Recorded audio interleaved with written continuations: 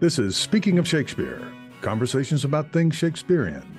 I'm Thomas Dabbs, broadcasting from Aoyama Gakuin University in central Tokyo. If you are joining us on YouTube, you should know that this program is also available on your favorite podcast platform.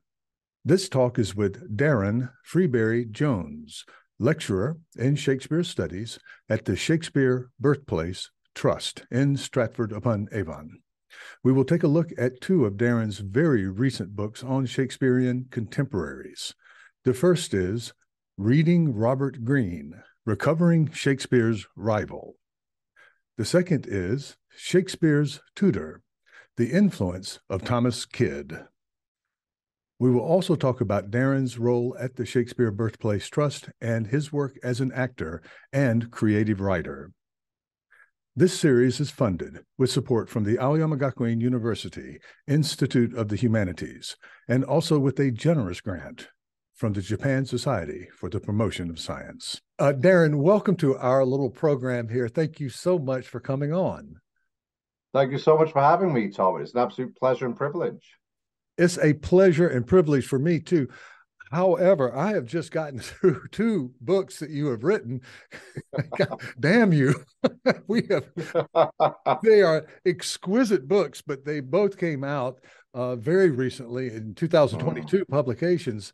And one is on Robert Greene, one is on Thomas Kyd. Both are on pre pre Shakespearean or how we think of pre Shakespearean uh, playwrights or playwrights who were very active at the time that Shakespeare was working in London. We know that, but pro- but predated him in terms of their playwriting. And, and particularly in the case of Thomas Kyd, may have had a, a huge influence on Shakespeare. I mean, they're all living in this, let's face it, a fairly small area. But I wanted to talk first is reading Robert Greene, uh, recovering Shakespeare's rival, and Shakespeare's tutor, the influence of Thomas Kyd. Both fascinating uh, topics. Let's let's begin with Robert Greene, and then and kind of try to segue into uh, Thomas Kyd, if we could.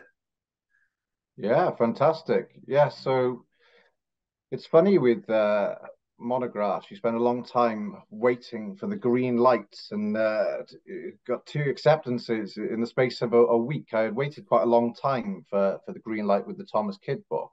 Um, so I was working on proofs and indexing and whatnot uh, concurrently uh, with with those two books. But I, I think my interest in Robert Greene probably began around 2016 where I was taking part in a, a, reading session and we were reading Alphonsus, King of Aragon, uh, Greene's probably first uh, dramatic effort. And I, I, turned to everyone in the room and I said, you know, is there is there a collected or, or complete works edition of Greene? And uh, I, I, discovered that there hadn't been one uh, for over a century. And I thought, you know, there's a significant gap in the market, uh, yes. but also in our knowledge when it comes to Robert Greene, because his his uh, sort of critical background, I think, has been very negative because of that diatribe aimed at Shakespeare in, in the pamphlet uh, Greene's Groat's Worth of Wit.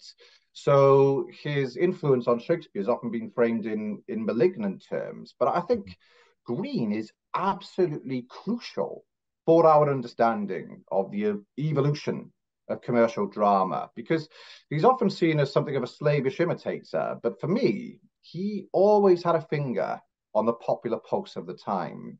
And his dramas are actually quite tremendous. You know, they're, they're highly entertaining. Thinking about Alphonsus, King of Aragon, you've got a wooing scene in a battlefield. You've yeah. got a play bristling with intrigue, disguise, deception.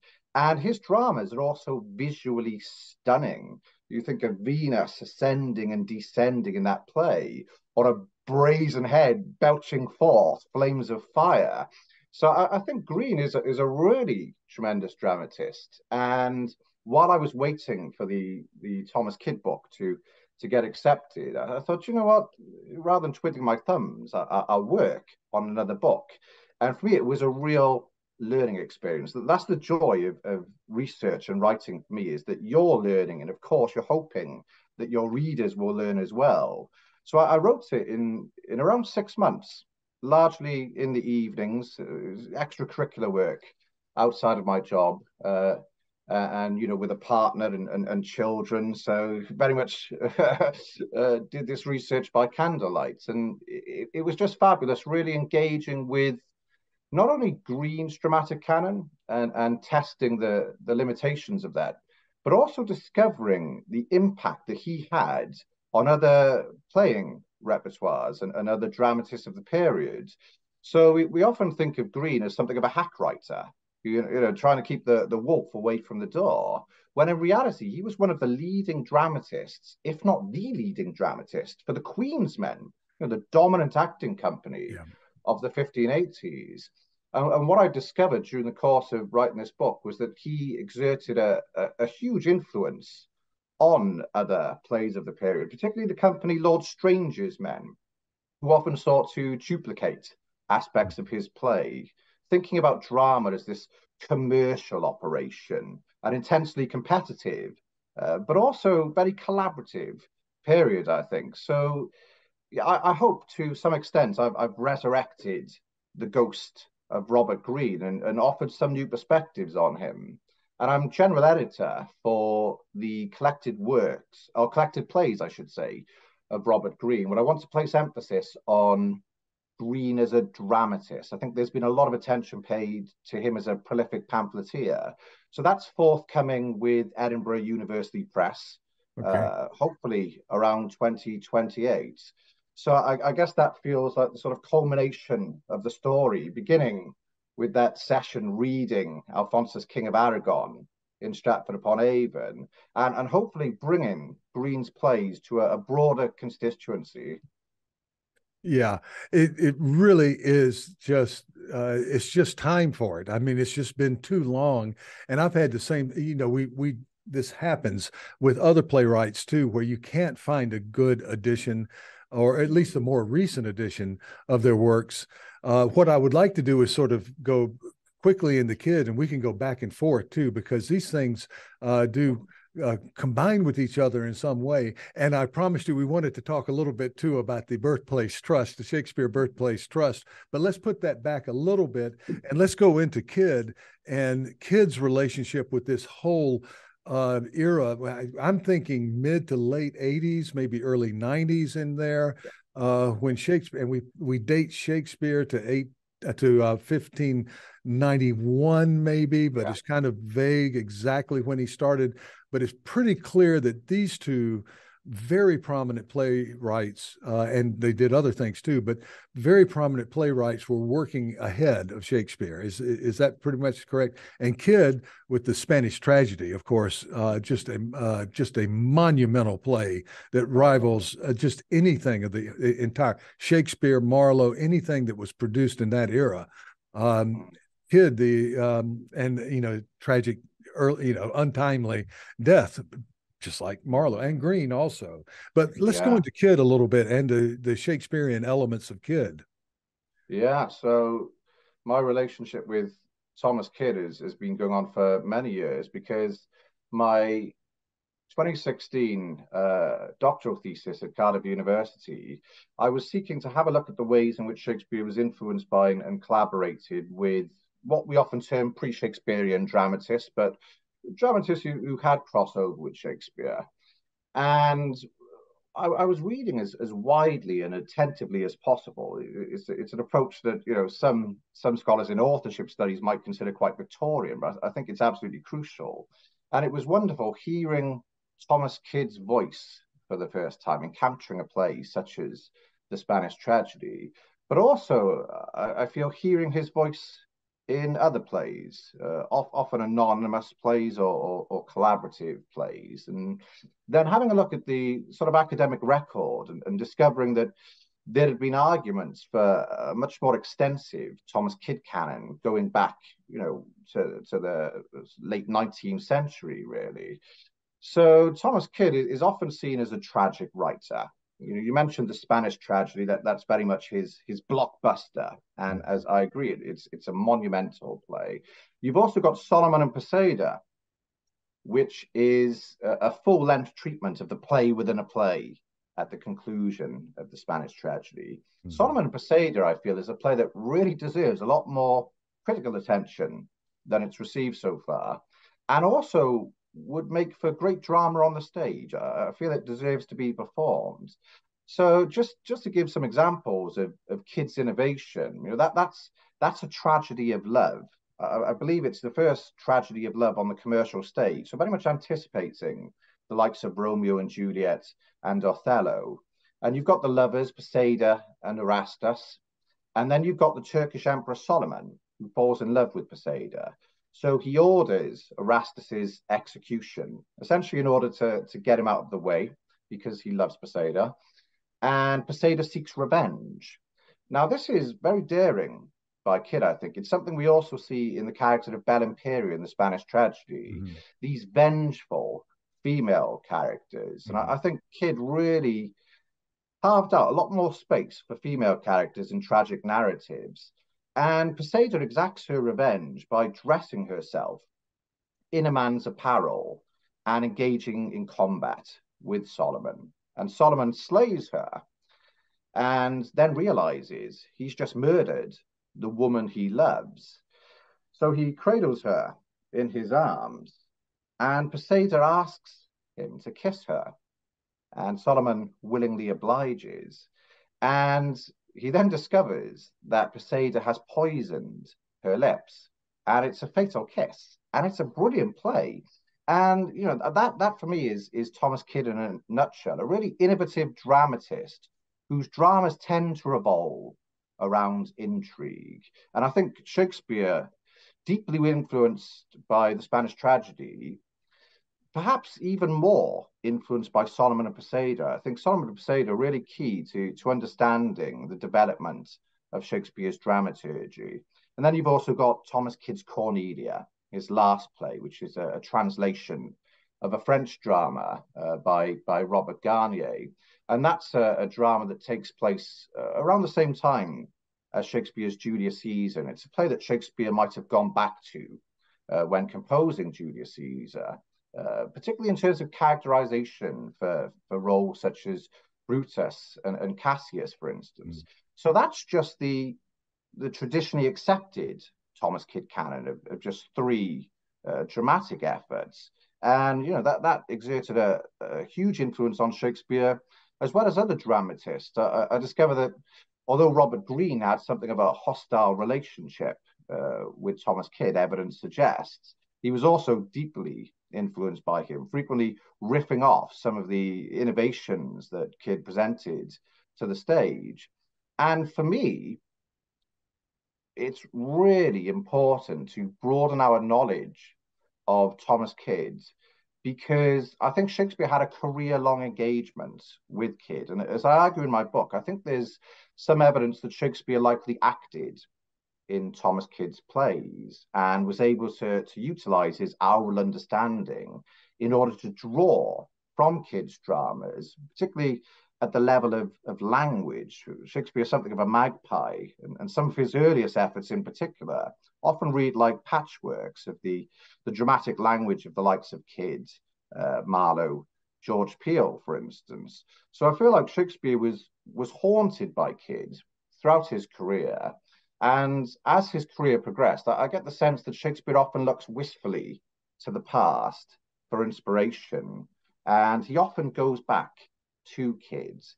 And it's it's interesting now that all authorship attribution scholars agree that Shakespeare contributed to the uh, additions to the Spanish tragedy of 1602, which yeah. is wonderful because, as you know, Tom, authorship attribution scholars seldom agree on anything. Oh. So, yeah. well, I, I, wanted to to maybe let's interject this now because there's the stylometric, um, the, the, digital um, methodologies that are coming out. Uh, I'm I do digital humanities like you do, but I am not um, I am not up to speed on this on the software, how good it is, how reliable it is. I know that um, uh, what the, the to quote the Bible, that attribution studies can be a deep ditch. You know, you, you might, you know, you might find yourself falling off the side. Uh, and I've gotten emails where some people are making some claims and, and, claiming that I had made some claims about Marlowe. I have never uh, questioned. Marlowe's authorship, but the um, but the the thing is, we are getting to the point, and I want to hear you're you're there kind of on the front, and I want to hear what types of things you think you're able to do in terms, not so much of full authorship, but collaboration. Well, also full authorship or almost full authorship. You know, I don't know th- these are collaborative enterprises anyway, you know, with actors and so oh, forth. But you know, with this very dominant author to collaboration to what eh, do you see uh, uh, a certain level of trust developing in these uh, digital methods of attribution? Interesting question. Uh, is there a certain level of trust in digital methods? Um, yes and no, really.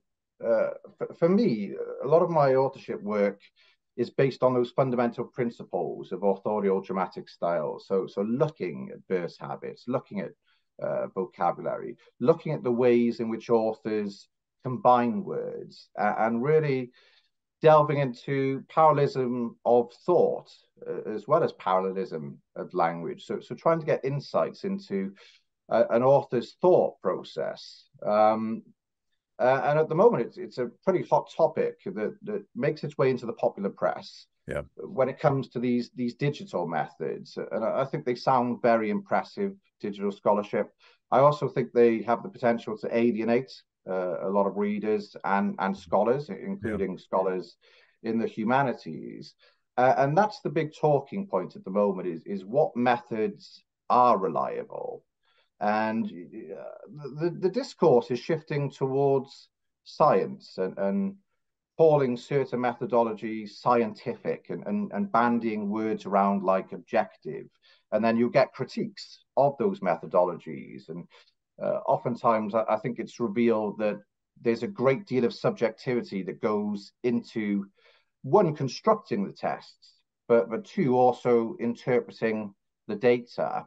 So for me, when it comes to digital scholarship, I, I think it's really important. I think there are marvelous advances, but I also really try to anchor my attribution work in sensitive readings of the plays and and also anchoring these texts in their original theatrical and historical context. For me, it's it's still fundamental to to read these plays closely, and I, I would very much question scholars who dismiss more traditional literary critical approaches as as subjective because yeah. I, I, think digital scholarship it, it, can aspire to objectivity just like literary analysis but it's still dependent on a subjective interpretation of the data yeah I'm I'm I'm in digital humanities, eh, but I'm uh, le- leaning Darren on this because it, uh, let's say was the uh, Marlowe's Tamburlaine, which I know way well. Uh, I just have just always felt that there was a strong line there uh, that uh, you know John, what the mighty line, very mm. much there that is not Kyd like, and but that I yeah. might, if there were something Kyd like in there, I could probably feel it at some point, you know, like when you get into Faustus and the textual problems with Faustus, you you see the hands of other playwrights and so forth. But um, certainly there's signatures that I have felt. Shakespeare's very complicated because you have 20 years uh, or more, you know, of a developing playwright, there's a distinctive stylistic difference between the Henry the six plays and what we would consider to be later plays that you can feel it, but you still are feeling a lot of Shakespeare no matter what, in my yeah. in my feeling. Um, however, you have done some attribution on the Henry the Sixth uh, in terms of mm-hmm. Kyd and establishing a canon for Kyd and I'm interested in hearing about that because this is a little bit, you know, you you've gone beyond three plays on um on with your Kyd canon. I, I attribute Acts two to five of Henry VI Part One to Thomas Kyd, uh, minus scenes added by Shakespeare. So for me, the, the, the, plays known as Henry VI Part Two and Three in the first folio, I actually think they're entirely Shakespeare.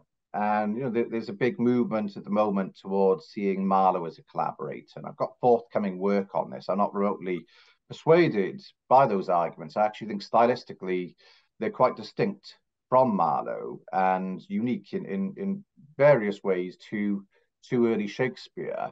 But I, I feel if, if, we're looking at chronology, particularly the brilliant work of Martin Wiggins, for instance, then the, these Henry VI plays are Shakespeare's least mature works, and you know they they, they do feel very polyvocal because I, I think Shakespeare is articulating the the theatrical vernacular of the time. You know, having acted in the plays of, of contemporary dramatists.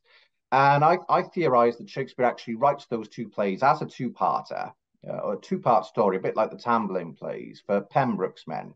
I think that's most likely the the company Shakespeare started off with.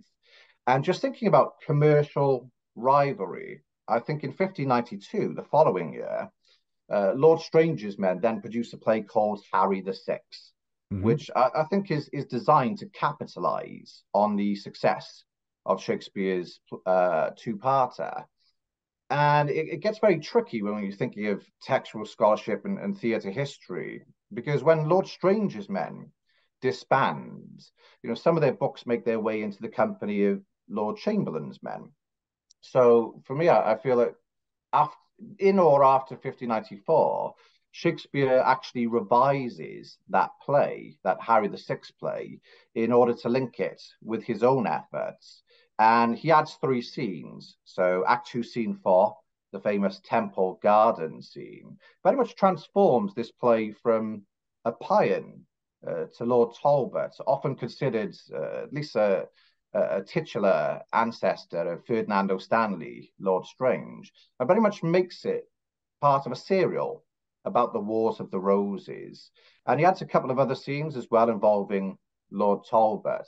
Uh, I feel he actually rewrites one of Thomas Kyd's scenes, which is the rhyming uh, dialogue between Talbot and his son John when they're saying, you know, we must leave the battlefield. No, we must stay here, and you know, it do, it doesn't end well e- uh-huh. either way.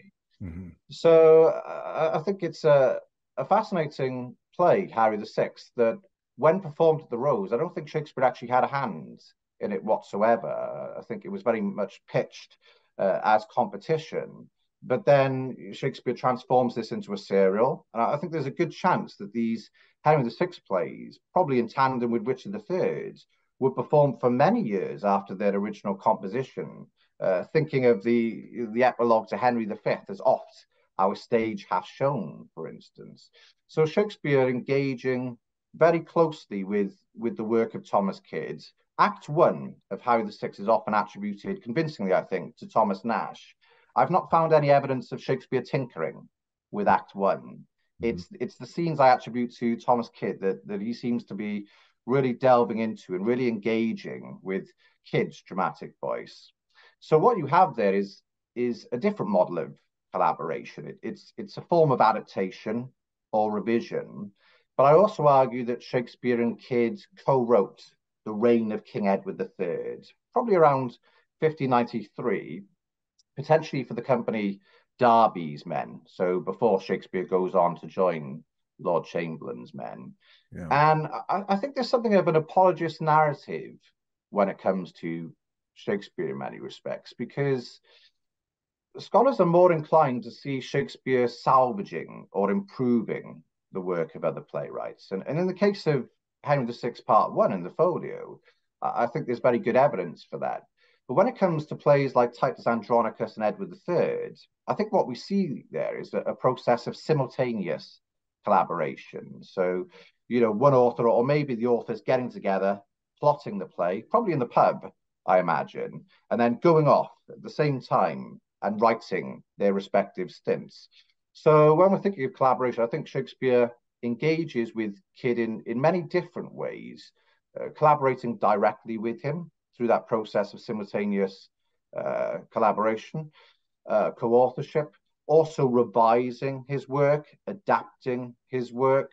So uh, I think if you're having a look at Shakespeare's dramatic canon, it, it owes a, a, great deal to Thomas Kyd. I actually think if you're looking at that collection of 36 plays, the 1623 first folio, I think Kyd's is the main hand in Henry VI part one. So you've actually got Kyd's writing alongside the, the writing of uh, dramatists such as John Fletcher or, or Thomas Middleton, uh-huh. for instance. Yeah. Um, yeah, and uh, I would uh, people who are listening, viewing, or whatnot. You have abundant examples in your book, and as soon as you get into it, uh, sparks start flying. You know, just uh, as we are talking, I'm thinking of poison on the lips. Well, there's Juliet trying to get the poison off Romeo's. There's so much collaboration. You know, in our modern times, and it might be a sort of post Victorian thing or a post romantic thing, we think of the solitary author often, uh, his or her study, uh, uh, putting together, um, you know, this work, you know, independent of, uh, of the world in a way, uh, and while engaging in some kind of fictional enterprise. And we think of the modern film producer, you know, the strong director with the um, guiding the actors through this, um, um, you know, drama. You know, without the director, the actors are are nothing. Um, the screenwriters are sort of underneath the thumb of the strong director. This I compare much more with musical trends that we've had. You know, when uh, new technology develops, you know just recording you know how we have this boom and all of this innovation and all of these people collaborating. And sometimes you see one guy playing with one band and going off to the other and uh, and everyone trying to outdo find their audience and outdo each other. There's something more of a similarity a parallel there in this era than I, than what we considered to be uh, traditional authorship or a strong directorial um, hand. Mm, yeah, and, you know, th- thinking of influence as well, I, I, think there's still some scholarly reticence to acknowledge the degree to which Shakespeare borrows from other dramatists. And you're thinking of that process of simultaneous collaboration right at the start of Shakespeare's career. He's learning from other artists. It's, it's, use a uh, musical terminology. But I, I, I think we're we're still stuck in this notion of Shakespeare as something of a a patcher up, uh, a tinker of yeah. older plays, improving the work of other dramatists. Whereas actually, I think this is you know, this is Shakespeare's learning journey right from the start of his career, collaborating with other playwrights and being heavily influenced by them, uh, particularly through having acted in many of their plays. I think or at least having such a capacious verbal memory that on his afternoons off, he could go to the theatre. And of course, he's going to be, you know, listening out for uh, particular mediums, particular lines, looking at uh, particular tropes. I think Shakespeare, you know, we, we often think about actors remembering lines they've delivered on stage. I think Shakespeare, of all people, he's going to be listening to that drama throughout during rehearsals, when he's in the tiring areas, backstage. I think Shakespeare really has an acute ear and he's looking at the strengths and limitations of these early dramas and effectively collaborating with these other playwrights through through uh, I, I guess articulating their dramatic language, but consistently doing something a little bit different with it. I, always think of that famous T.S. Eliot quote about great artists uh, stealing. yeah, well, I don't think that the idea of theft was the same uh, as no, exactly. in, in our time. I think that uh, you know, I just remember going way, way before uh, Chaucer apologizing at the beginning, I think, of Troilus and Criseyde, where he uh, says, This is the original story. I'm not changing it. And of course, he's lying. Uh, he, yeah. he does change it. Um, and uh, uh, he changes it uh, a bit from Boccaccio, but I think that that was still in play. People uh, were familiar with a lot of these narratives, and they'd read them in histories, and they some of them had yeah. studied them in Latin or whatnot. But a lot of people have read read them in perfectly uh, uh, scripted, you know, uh, print versions of English. Um, Arthur Brooke's Romeo and Juliet had been around for yeah. 30 years, and uh, uh, Painter's Palace of Pleasure. And you can see yeah. these people just yanking stuff from the pages and saying, yeah. okay, let's dramatize this. And we wanted to look, uh, we want to do something else with it, innovate, but uh, we wanted to look like this narrative. No problem there. And all, when you get into the minutiae of certain stylistic um, habits and so forth, uh, it's, it's just absolutely fascinating to me to to look at these things. Yeah, that, and that's that's the thing. And you see it in the popular press. I think we often kind of extract Shakespeare from the period in which he was writing, where the emphasis was not on necessarily telling new stories, but telling existing stories in in new and you know innovative ways, as you say. And I think Shakespeare is a real master of using those literary and theatrical ancestors uh, in order to subvert audience expectations. You think of a play like King Lear, for instance, which consistently has a happy ending. And there's an old King Lear play which which seems to have been popular, which I attribute to Thomas Kyd, yeah. actually, which you know, like all of Shakespeare's sources, concludes happily. And I can imagine that that would that would still be buzzing in audience members' minds when they went to see Shakespeare's tragedy, and they'd be very mindful of that happy restoration with Lear and Cordelia, as she as she's called in that play, restored to the throne. And Shakespeare just pulls the rug from under his audience's feet and, and gives them the most devastating conclusion to any theatrical or literary work, perhaps. So I, I, I think Shakespeare, a real master of, of subversion, yes. I can't think of a sadder ending. You know, no, I mean, no. I, I, you know, if you go to a Russian novelist or something, I, you know, you can you can get depressing uh, very quick. But just just destroying everything, you know, yeah. there is just nothing less left standing. And yeah, that would have been a shocker. You know, oh, a narrative yeah. that you were uh, familiar with. Oh, let's go, um, let's go see the happy ending or whatnot. And after all of this tragic stuff, but nope, uh, you don't get it. Yeah. There's a there's a Hamlet question in there too with Kyd, and yes. yeah, yeah, if you could refresh us a little bit on the on the Ur Hamlet. Uh, oh yes. yeah, yeah. I mean, the Ur Hamlet still remains very enigmatical, and you know we only have around one sixth of all plays composed during the early modern periods. Yeah. Uh, and I think, you know, people often talk about Cardenio, uh, one of Shakespeare's last plays, Lost, Love's Labours Won. Ironically, seems to have been, you know, Love's Labours lost. It, it's lost to us. But it's that Ur Hamlet. That that's the one I'd love to get my hands on. So, oh yeah. Your viewers and listeners could check their attics, check their basements, and let me know. You never know what new discoveries they, they might come across. But yeah. I, I, think I, I think the evidence for Thomas Kyd's authorship of this older Hamlet play, written in the late 1580s, is is fairly compelling. So Nash Nash refers to to this old play, it seems, in the preface to, to Robert Greene's Menaphon. And he's he's talking about a writer who is very dependent on Seneca. He actually uses the, the plural. So some people have inferred that he's he's talking about a, you know a, a team of writers, but uh, the biographer, Kyd biographer Arthur Freeman, um, pointed out that Nash often does that. Even if he's got a very specific individual target, he, he'll often use the plural form. So he's, he's speaking about a writer who is very dependent on Seneca. And I, I think Thomas Kyd, it's fair to say, refined Seneca for the commercial stage, very much sees Seneca as his tragic ancestor. Mm-hmm. he also writes of a, a, a dramatist who who meddled in Italian translations, which is something Kyd did. Uh, he translated Torquato Tasso's Padre de Familia in, in a pamphlet known as the Householder's uh, Philosophy. You've also got that that phrase, the kid and Aesop, um, which which seems like quite an obvious pun on on Thomas Kyd's uh, pun-worthy name. You've also got references to the Spanish tragedy in there, uh, uh, particularly uh, Thomas Kyd thrusting um, Elysium into hell, if I'm remembering correctly, in, in the prologue uh, to the Spanish tragedy.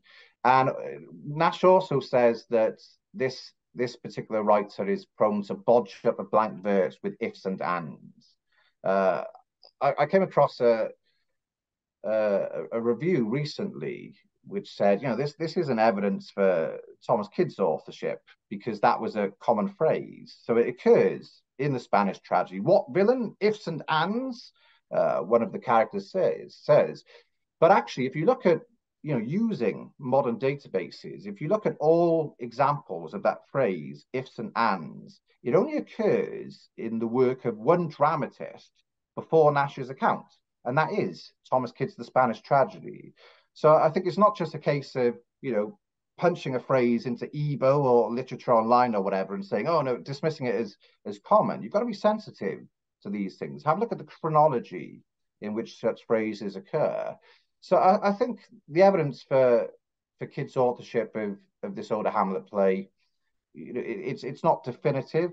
It, it, it strikes me as as fairly compelling, and I think you have to do quite a lot of interpretive gymnastics in order to to claim that you know this is is not uh, uh, a fairly solid case for for Kyd's authorship. In order to argue, for instance, that you know Shakespeare might have written Hamlet in the late 1580s. One of the, the key points that Nash makes, I think, is that he says this writer has left the trade of noverint. And Thomas Kyd's father was uh, the writer of the court letter. He was a scrivener, a professional scribe. So it, it's quite uh, quite likely, I think, that the Kyd actually followed in his father's footsteps. So uh-huh. his handwriting, it's been noticed in two surviving letters, is very neat and suggests the training of a professional scribe. So yeah. quite likely that Kyd did indeed uh, uh, partake in the trade of, of that he was a scribe, and then turned his hand to writing plays. So yeah, I, th- I think fairly solid case for Kyd's authorship of this Lost Hamlet play. And just going back to those additions to the Spanish tragedy, uh, although they were printed in 1602, we, we tend to think that they were written in the late 1590s uh, due to sort of contemporary illusions. They, they're mocked by mm-hmm. John Marston in his Antonio plays, for mm-hmm. instance. Mm-hmm. So I, I, think Shakespeare's memory of the Spanish tragedy was very much refreshed as a result of engaging with it so closely in the late 1590s. And it's it's long been noted that the Spanish tragedy seems to have served as a model for Hamlet.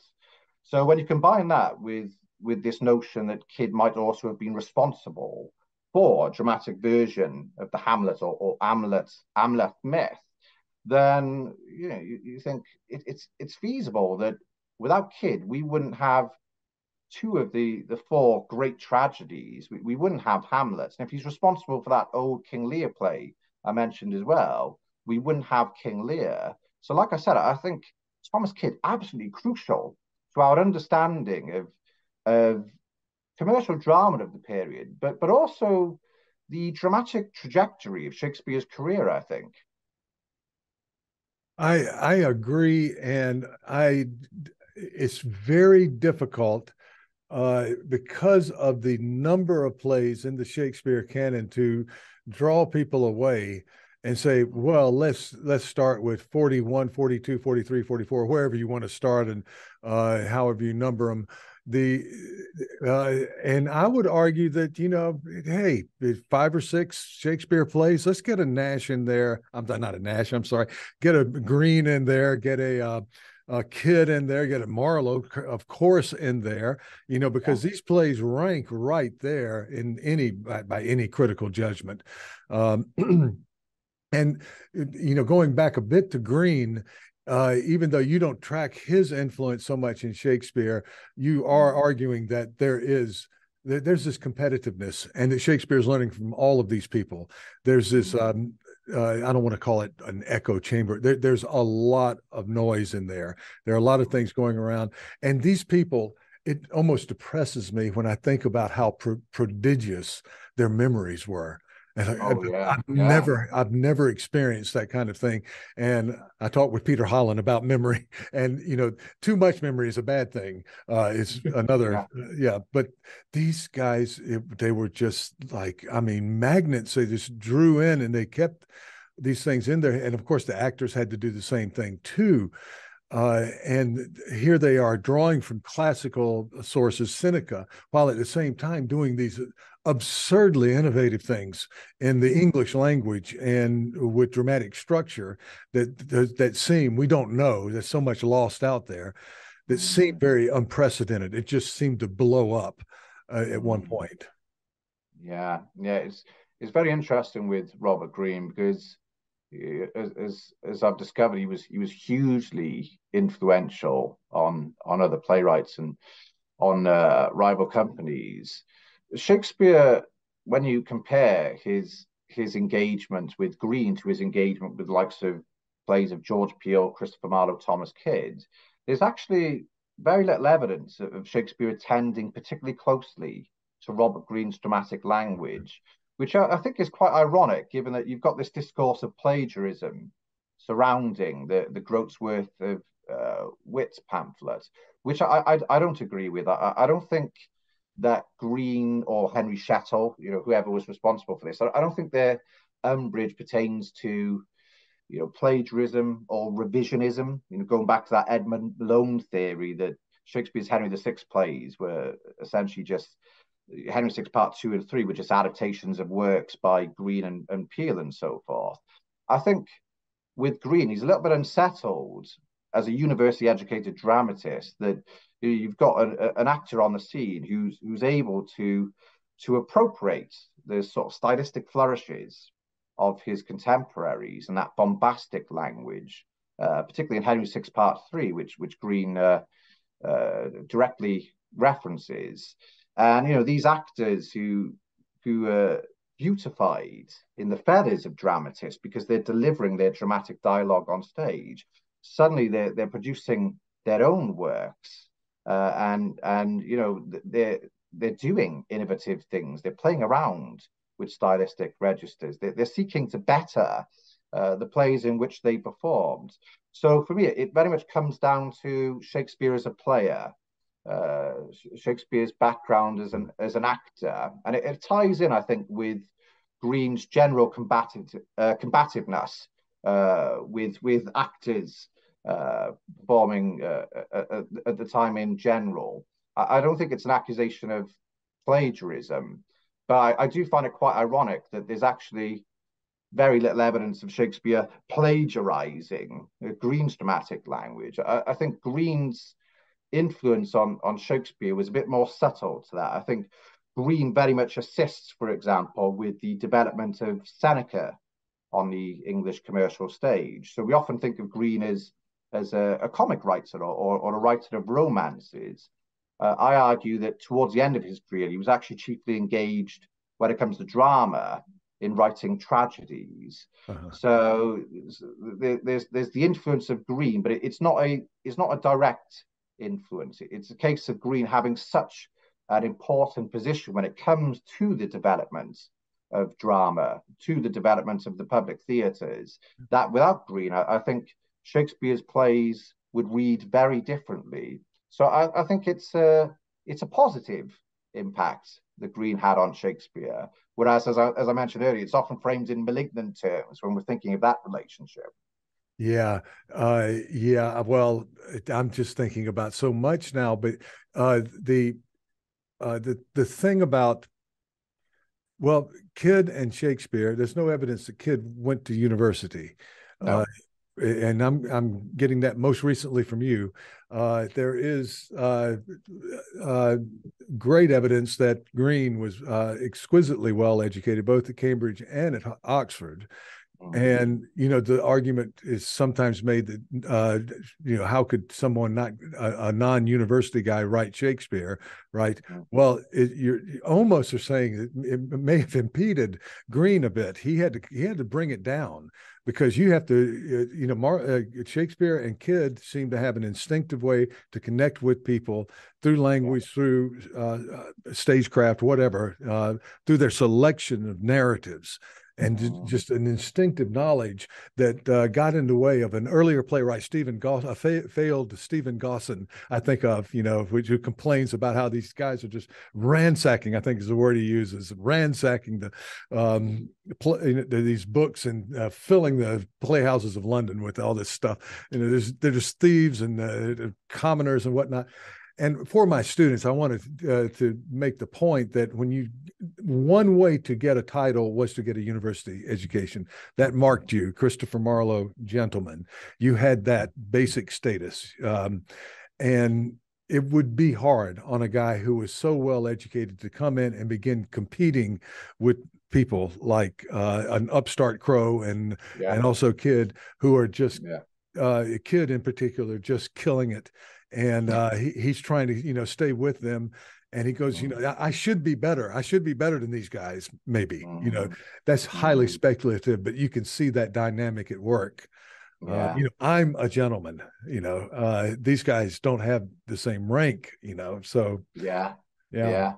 And and you know, author names seldom mentioned on on play title pages during the period, but but Greene's name actually is. So he's, he's far more marketable and saleable than often given credit, I think. And you know, you get that emphasis on on gent, gentleman, on that sense of his education. I, I was thinking of a, a line from the uh, I think it's the return to Parnassus, which is few university men pen plays well, which of course you know is is certainly not the case. But I, think you you see a, significant stylistic contrast between Kyd's, Shakespeare, and university educated playwrights like Greene, Marlowe, for instance. Mm-hmm. Uh, you know, thinking of the use of classical allusions for instance. The, the plays of university educated dramatists are often satiated with classical allusions. Greene, despite his education, often jumbles his his mythology actually. yeah, okay. Whereas you you get the sense with Shakespeare in particular that he's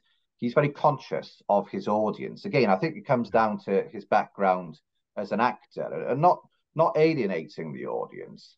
And one of the discoveries I, I made while writing my book Shakespeare's Tutor was that a lot of university educated dramatists stick to the 10 syllable line mm-hmm. you know uh, dum de dum de dum de dum whereas shakespeare is is very innovative right from the bat as soon as he starts his dramatic writing career in terms of incorporating that extra 11th unstressed syllable the so-called feminine ending which is a very very sexist term um, but but we kind of have to to make do with that so I think Shakespeare, right from the beginning of his career, recognizes the, the need for some linguistic flexibility.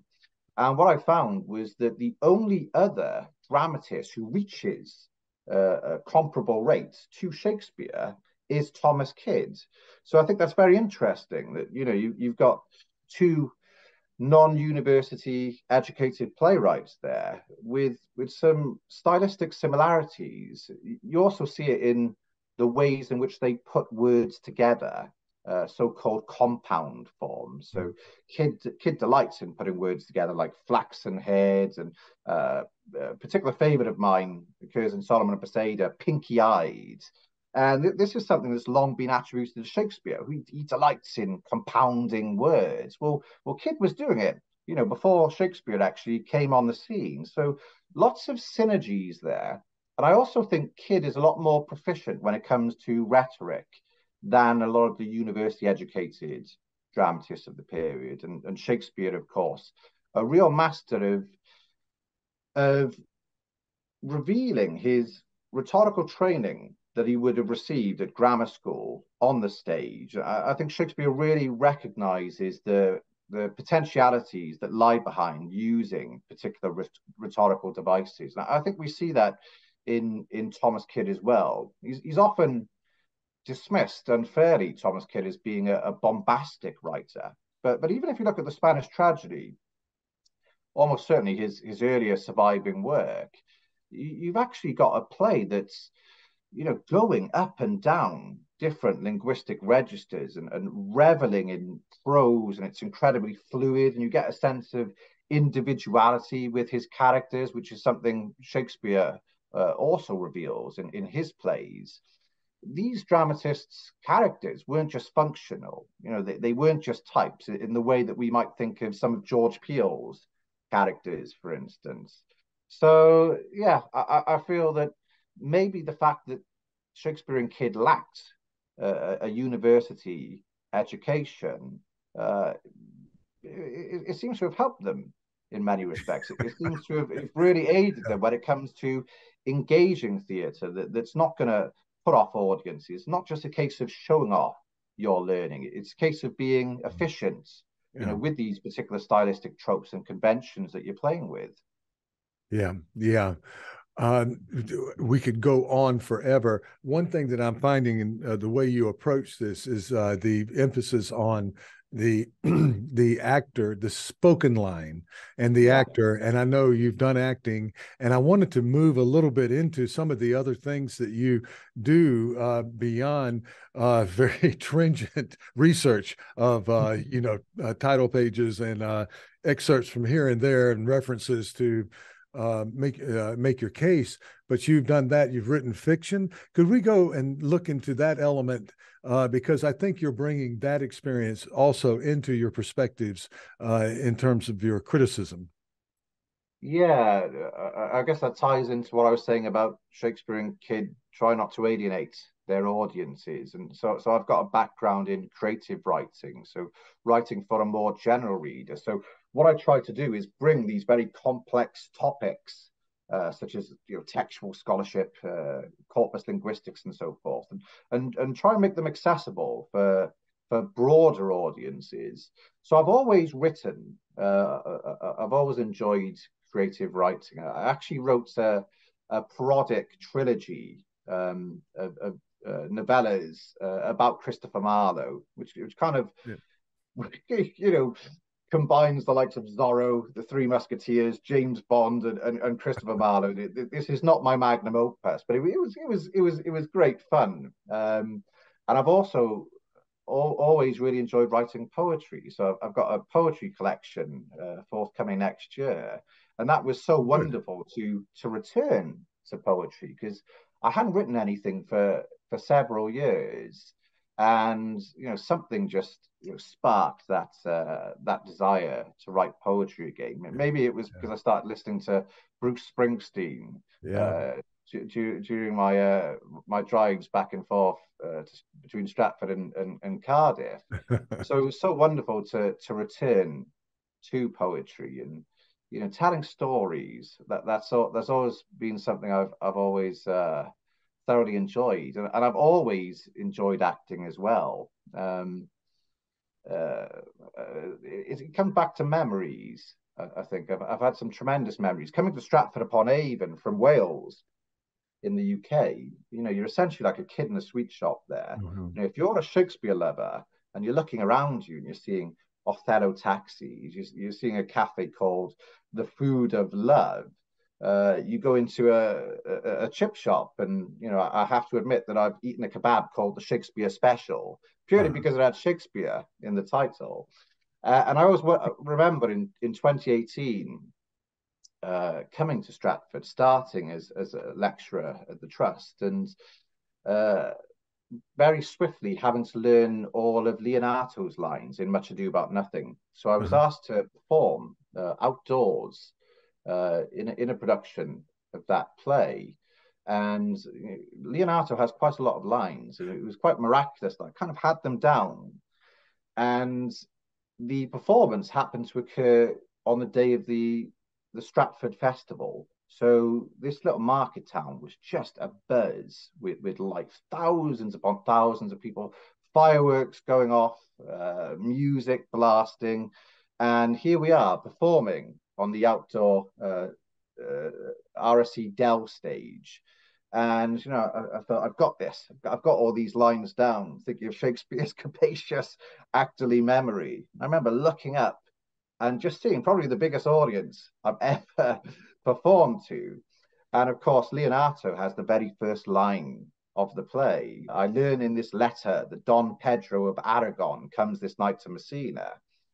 And so I just strode onto the stage and said, I learn in this letter that Don Pedro of Messina comes this night to Messina.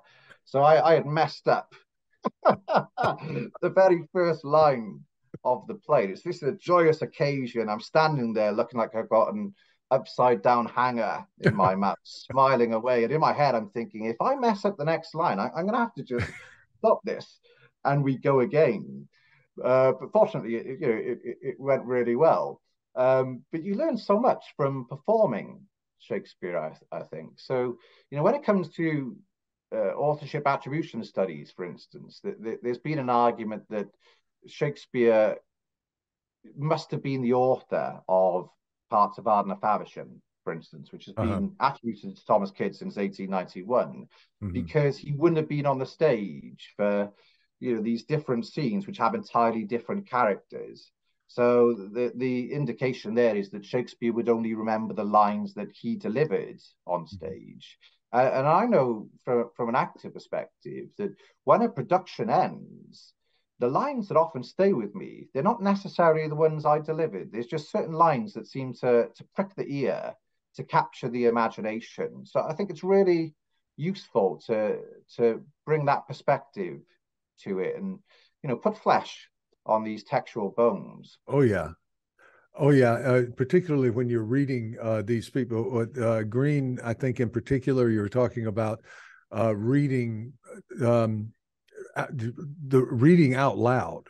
Mm. You you get a sense uh, of of what they're trying to do, and particularly when you can get an actor uh, to do it, uh, you go, oh, oh, that's that's where that's where we're coming from. You know, it's it's so you could argue this with Shakespeare too, but uh, I, I guess we know we already know with Shakespeare, but these are other more marginal to most of us outside of these uh, uh, smaller circles we're in. Uh, yeah, read it out loud, and and uh, these uh, bombastic speeches. There's a lot more going on there. Uh, yeah. There surely is. Uh, yeah. You mentioned your affiliation with the Shakespeare Birthplace Trust, and I thought we were going to lead with that, but I was just so interested in what you had just gotten out, and I had this in my head. I didn't want to lose, uh, you know, what I um, was reading yesterday and the day before, the day before. Uh, mm. But I do think that there are a number of our listeners and watch and viewers who uh, are not as familiar with the educational programs. They may have heard of, they may have gone to Stratford, they know of the the trust. I um, in, I spoke with um, uh, uh, Lena Orlin, who's uh, I believe on uh, serves in a capacity on the uh, board or in, in and um, I want to know a little bit more about the programs. I know there's a lot of uh, uh, educational, uh, there, are educational programs from childhood all the way up to university, that kind of thing. But uh, your role in the Birthplace Trust and and what types of things that you get involved with there, and mm. yeah, yeah, yeah, it's it really is a a, a role of infinite variety. Um, you know, like I mentioned, if you're a Shakespeare lover, just coming to Stratford upon Avon and, and working there, an absolute joy. But but working for the Shakespeare Birthplace Trust comes back to memories again. I have made the most incredible memories. So my role is lecture in Shakespeare studies. So part part of my role is to develop relationships with organizations around the world. So domestically in the United Kingdom, but with, with a particular emphasis on organizations in the USA so mm-hmm. I often attend conferences. Um, I, have gone on lecture tours very early in, in, my days of working at the trust. I, I traveled to the States and visited, uh, I, I think it was five states in nine days and gave something like 14 talks. Um, and that was to, you know, high school students and, and also uh, leisure learners as well. Uh, I'm also thinking of digital humanities, uh, deeply involved in in the trust digital output. So, for instance, I, I project manage a, a, course called Self-Led Macbeth, uh, which is very much pitched at teachers who want to broaden their understanding of the play, or, or even if they're just looking for a refresher before going into uh, high school teaching. And I lecture online uh, uh, often from my home in Cardiff. So there's a real emphasis on on digital pedagogy at the trust, but I also lecture in person. And I, I tend to lecture from about the age of 16 to 17 upwards. So mm-hmm. lecture to teenagers, uh, lecture to college students, lecture to university students, lecture to leisure learners. Um, so you're thinking about the whole the whole pathway there. And as you mentioned, uh, the educational team, the learning team at the trust start very young and, yeah. and you know go go throughout life's journey really. And when I think of audience, uh, that's something I, I, really love about this job in particular because sometimes you know I lecture to much younger audiences, and I always remember. Uh, within the first couple of years of, of working at the trust that I gave a, a, talk on Shakespeare's life and times to a very young audience. They must have been about seven or eight years old. And then immediately afterwards, I walked into another lecture theatre and had to deliver a lecture to the Norwegian Shakespeare Society. So, you know, really going up and down the gears in, in terms of pitch, in terms of, you know, audience comprehension. I love that. I love engaging with as broad an audience as possible and on so many different topics because, you know, a lecture in Shakespeare studies, well, that covers an awful lot, of course. Uh, yeah. And, you know, you, you, you're speaking about all of these different plays or or such topics as Shakespeare and gender, uh, for instance, uh, Shakespeare's history plays. When you, you think you're thinking generically, and you know sometimes we give pre-performance talks um, for for audiences visiting from around the world. Uh, uh, and going to see a production at the Royal Shakespeare Company. So a few years ago, I, I joked that I was probably one of the world's leading experts on the restoration dramatist Thomas Otway, because I was teaching his play Venice Preserved, uh, yeah. uh, and and you know really had to imbibe all of that information.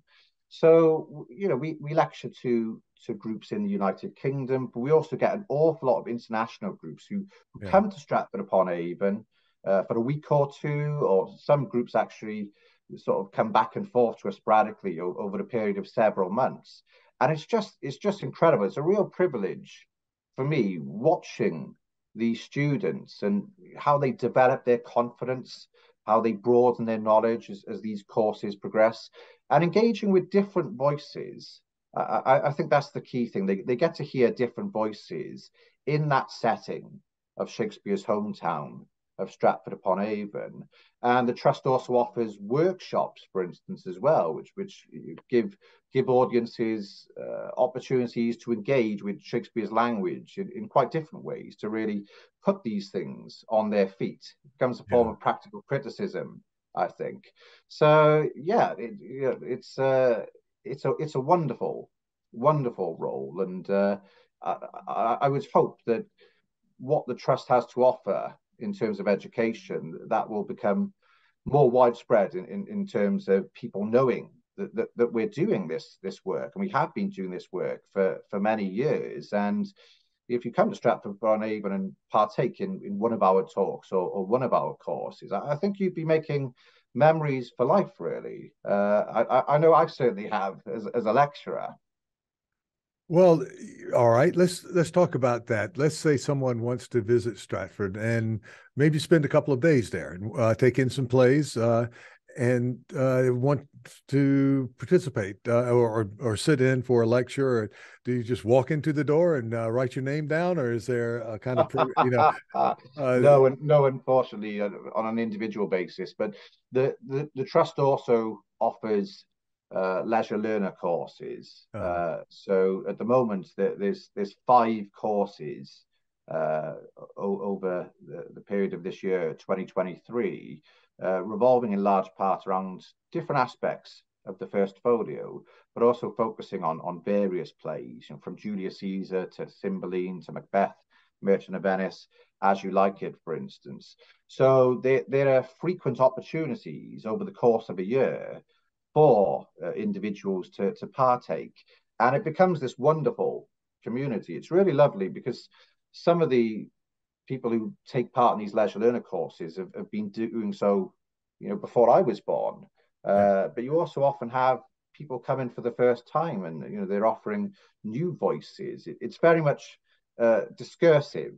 It, it's all about, you know, communicating, having conversations about Shakespeare. So there's there's plenty of opportunities for for individuals to to to join these courses. I think uh, if you ch- check out the uh, Shakespeare Birthplace Trust website, shakespeare.org.uk, yeah. you, will see a, a, great deal of opportunities. Yeah. I really would encourage people to to partake. Uh, yeah, and you know, of course, not, try try not to just walk on um, walk in. But the um, I, I saw that there's an, uh, a, just an enormous number of offerings uh, coming from the trust. Um, and so forth.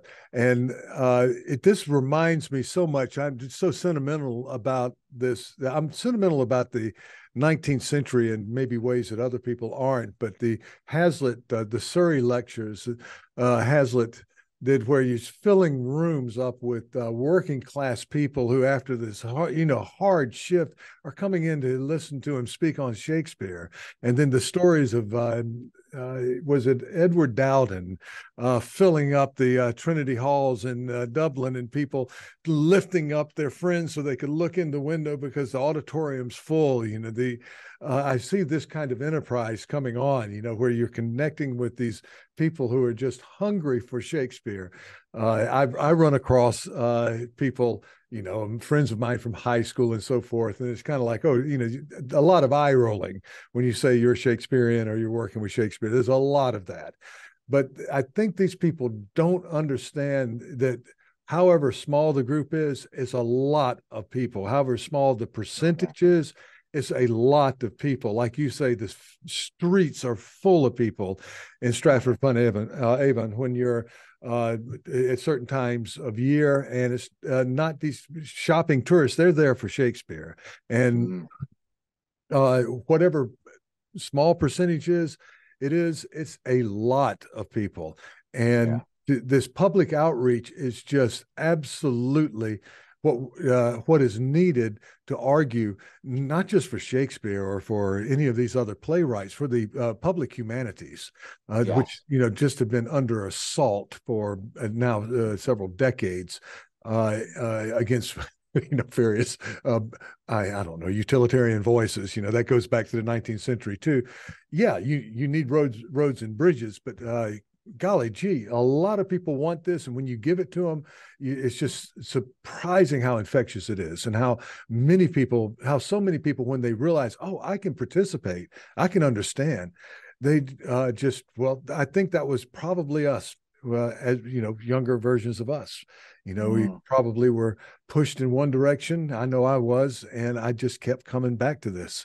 Um, yeah and the trust uh, seems to be doing that type of work and it's such good work. I know we talk about it a lot with other speakers on this uh, series uh, that uh, outreach is a very very important thing and letting people know that uh, hey we're just regular guys you know uh, no yeah. no ascots and pipes here. Nobody's going to look down on you. My goodness you know it's it's a hard road for us yeah. you know so um, that's very good. Well, now what can we expect coming up here in your scholarship and the work that you're doing? What do you what do you see in the next two or three years?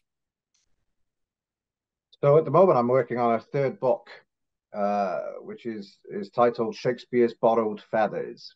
So that's very much aiming to to bring this sort of discourse revolving around authorship and, and different methods to to a, a much wider audience. So it, it's a book that focuses on the ways in which Shakespeare was influenced by the dramas of his fellow playwrights.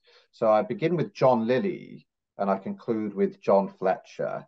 So we're, we're going, you know, throughout uh, Shakespeare's dramatic writing career and, and using online databases and, and cutting edge digital technologies uh, in, in order to offer a more methodical approach, I think, when it comes to understanding how Shakespeare was influenced by, imitated, and adapted the works of other playwrights. So that's been quite a, a fascinating project where the the results often tend to to validate and extend you know existing scholarly hypotheses uh-huh. uh, but also challenge prior assumptions as well so yeah. i'm very much arguing for early modern drama as as, as being a, a community of playwrights. You know, there's a, there's a lot of scholarship on the ways in which Shakespeare influenced other dramatists, but I, I just want to offer a new perspective on the ways in which Shakespeare attended closely to the plays of, of other writers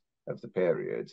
Uh, so yeah, fingers crossed uh, that that will be that will be out in the next year or two. Um, sort of at the tail end of the uh, initial manuscript at the moment. But it, it's it's just been wonderful, and I think it, it's great it's a learning journey, isn't it? It's great to broaden your own knowledge, and and yeah. you know, I, I, was really keen to learn more about the likes of John Lyly and Thomas Dekker, for instance, and Ben Jonson's fascinating relationship with Shakespeare. So, so charting Shakespeare's entire dramatic writing career, it, it's I've learned a great deal from it, and, and I hope that you know readers uh, uh, can can get a lot of knowledge and enjoyment from it as well.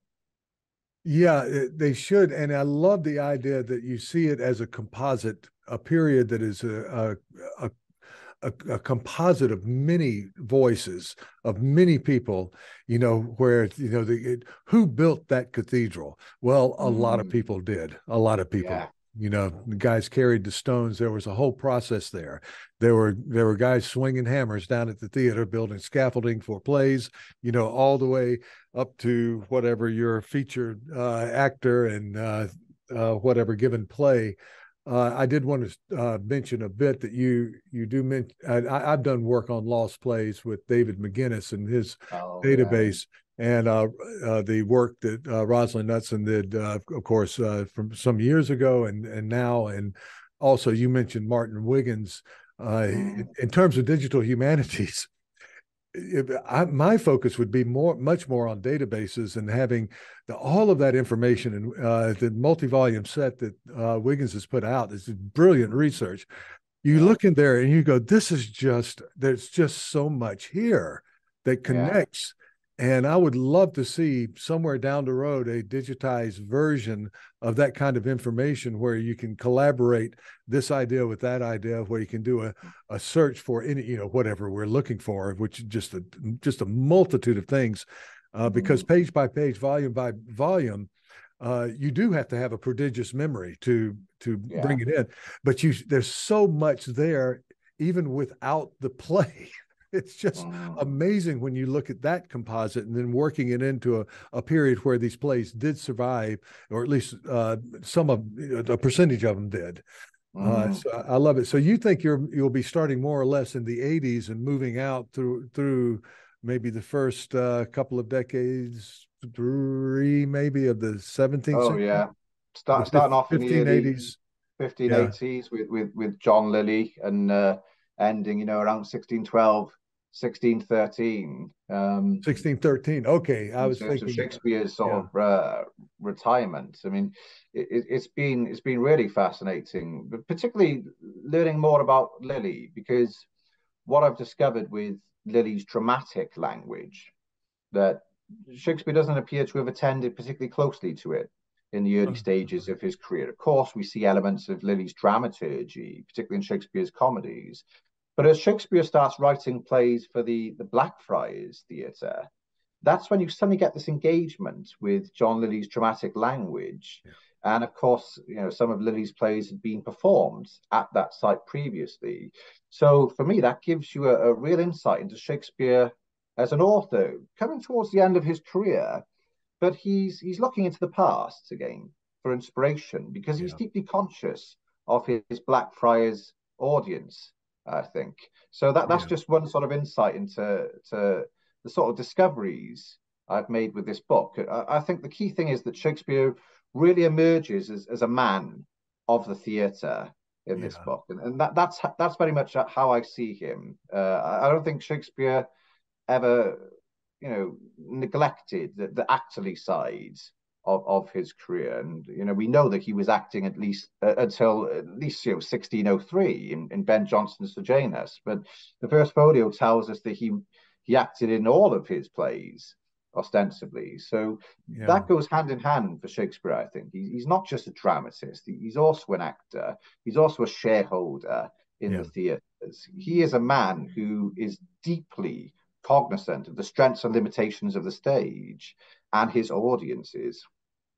Yeah, and he outlived uh, at least by uh, he didn't he didn't die as an old man by any means, but he outlived these contemporaries of his. Uh, the uh, uh, one kind of maybe going toward closing uh, this notion of Lyly. There seems to be a lot there that would have to be considered with the. It's not a diametric opposition, but you have children's companies that yeah. are uh, strongly used. All the you know, and Jonson, you know, with Lyly all the way through. You know, they mm. they kind of mm. they kind of um, go out for a period and then come back. Yeah. Uh, and at one point I studied that, but I've forgotten the precise uh, times. Uh, and uh, Shakespeare, of course, I was just gathering this from Hamlet, I guess mainly that was on the side of the full, you know, age range in an acting company, including uh, children or boys.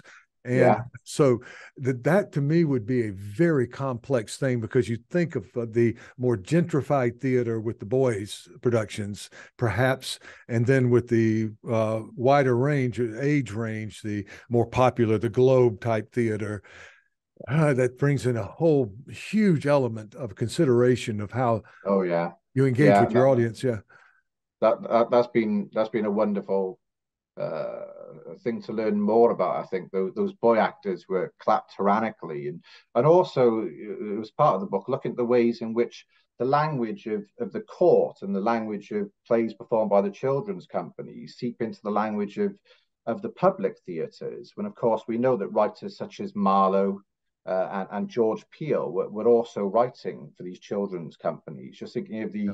Elizabethan period uh, yeah. before you get to the likes of Jonson, for instance. So, so yeah, there's there's a, a great deal to to think about, uh, but it, it, it's truly fascinating. And then thinking about Shakespeare's relationship with those companies, sort of beyond that uh, most famous instance in, in Hamlet, of course. Yeah, well, and, and, there's a ton more stuff that we could talk about. Uh, Darren, I have kept you through your morning. I'm, uh, and uh, I'm getting um, it's getting sort of late here in Tokyo, and um, I I hear um, uh, bells going off at home where uh, there may there there there may be a uh, a meal waiting for me uh, if I'm lucky, uh, or I may I may be told to cook my own. I'm not sure. Uh, the the thing is, it's wonderful. Now, I I don't want to probe too much into your private life, but you did mention that you have your home is in Cardiff, actually. Yeah. And you you do a, a good bit of commuting, and my memory is you're on. That's that's a good that's a good hop there to uh, about a two-hour drive. Yeah, it, it, it's about a two-hour drive. A two-hour. yeah, which is not which is not too. That's bad. not bad. Why was I thinking Cardiff? Uh, I'm thinking, is it the M4 that connects with London yes. from Cardiff? But you yeah. shoot up, so you're you're yeah. not you don't hit the um, M25 going around. No, that turns into a parking lot from from time to time if my memory if my memory serves. Uh, There's a great deal of luck in it, of course, but yes, usually the M4 and. Um, uh, I thought it was a lot uh, further. Yeah. Okay. no, it's not. So, it's not. It's not too bad. So you, you you could do it in a day, back back and forth again, and uh, yeah, yeah, it's always lovely to arrive in uh, oh. Stratford. It, it never gets old. Seeing yeah. that beautiful. Yeah. Beautiful well, I, I, have done. I I came out of the, the, the kind of uh, I, I, commuted. Oh my, those are horrible memories in the last century when I was just out of graduate school. But uh, those uh, the, when your, your destination is Stratford, and then on the back end, Cardiff, a bit, you know, a perfectly beautiful place. Uh, are you are you Welsh by any uh, chance? Oh yes. Yeah, yes, I was the, the, hyphenated name. I'm thinking uh, uh, gave away uh, the, the name. Um, uh, I uh, had for some years a friend in Pembrokeshire and would ah, go yeah. visit him. This is we're going back ten years now, but I, I, had the chance to visit him four or five times, and I've just always just absolutely adored driving through Wales. Any any place that I can find it um, yeah. because uh, the north is gorgeous. Uh, the south is to Pembrokeshire. It's just wonderful.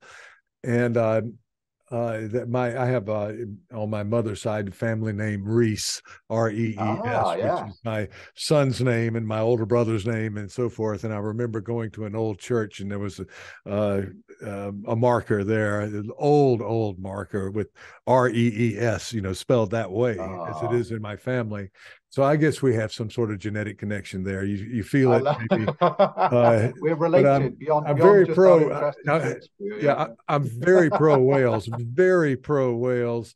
Uh, and I pull I don't know if I should say this, but I, you know, the Six Nations, I, I tend to, you know, feel have strong feelings for the Welsh team. Oh yeah, yeah. Feelings of disappointment in recent years, but uh, well, they'll, they'll, you know, back. it goes in waves. I remember stopping, and I thought, you know, we were uh, about. I was getting tired. Uh, we'd driven and I stopped about an hour and a half away from where my friend lived. And I said, let's just go up to here and have a pub. I think we're allowed a pint, you know, and I, am still good to uh, finish the drive, you know, and just take a little break.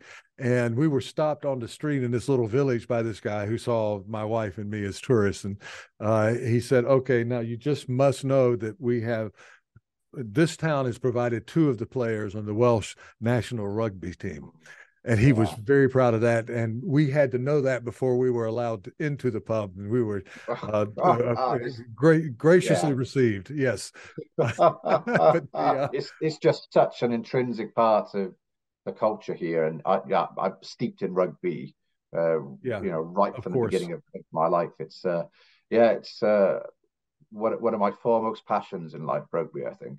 yeah. Yeah. Well, as it should be. I mean, uh, it's in your blood. And uh, yeah. uh, Darren, I cannot uh, uh, express how uh, grateful we are, you know, for your time here because, you know, as we picked up in this conversation, you're a busy guy, and uh, to to take the time to speak to us on this little uh, series here is just wonderful. If I could ask you to stay a little bit after we record, uh, yeah. Uh, we can debrief just a bit. But uh, for our listeners and also for our viewers, thank you so much, and we just wish you the very best in your efforts, uh, both you know with family in Cardiff and there in Stratford upon Avon. Thank you so much, Tom. Thank you.